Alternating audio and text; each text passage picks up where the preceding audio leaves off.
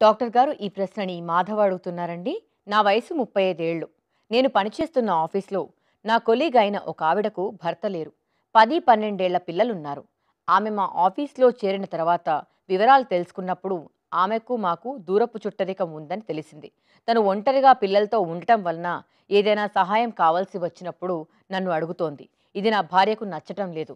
ఆమె ఎందుకు మీకు అన్నిసార్లు ఫోన్ చేస్తుంది? ఆమెకు మీరు తప్ప సహాయం చేసేవారు ఎవరూ లేరా అని తిడుతోంది. ఆవిడకు సహాయం చేయకుండా ఉండలేకపోతున్నాను. అలాగే నా భార్యకు నచ్చజెప్పడం కూడా నా వల్ల కావటం లేదు. ఈ సమస్య తీరే మార్గం చెప్పండి అని అడుగుతున్నారు. మాధవ్ గారు మీ ప్రాబ్లం యొక్క సొల్యూషన్ చాలా సింపుల్ అండి.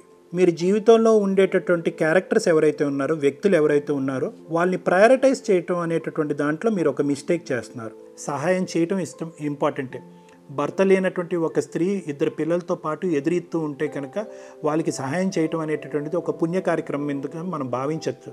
ఎక్కడ ఎక్కడ వరకు అంటే కనుక there is a limit to it ఎక్కడ లిమిటేషన్ అంటే కనుక ఎప్పుడైతే కనుక మీరు పడేటటువంటి తపన మీ యొక్క ఆలోచన శైలి మీ భావంతో మీ భార్య గారు ఎప్పుడైతే ఏకీభవిస్తారో అప్పుడు వరకు మీ ప్రయాణం ఆ విధంగా ముందుకెళ్ళొచ్చు. కానీ ఈరోజు అక్కడ ఇంట్లో ఒక సహాయం చేసుకోవటం చ- సహాయం చేసేటటువంటి ఉద్దేశంతో మీ ఇంట్లో చేజేతులారా నిప్పులు పోసుకోవటం అన్నది మంచి ఆలోచన కాదు. ఓకే అది లేదు సార్ అది వర్కౌట్ అవ్వదు. ఎందుకంటే ఆ- ఆవిడకి ఆ విధంగా సహాయం చేయటం నాకు ఇష్టం అంటే కనుక మీ భార్య గారు పక్కన కూర్చోండి. ఆవిడకి ఎక్స్ప్లెయిన్ చేయడానికి ట్రై చేయండి. నాకు ఎటువంటి దురుద్దేశం లేదు.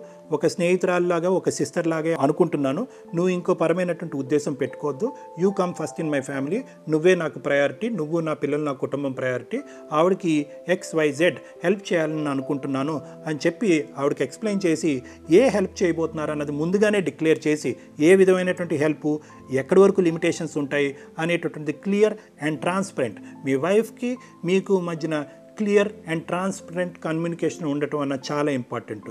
సో ఈ రెండిట్లో ఏ ఆప్షన్ వర్కౌట్ అవుతుందో ఆలోచించుకుని ఆ విధంగా ముందుకెళ్తే కనుక మీరు ఇబ్బందులు పడకుండా ఉంటారు.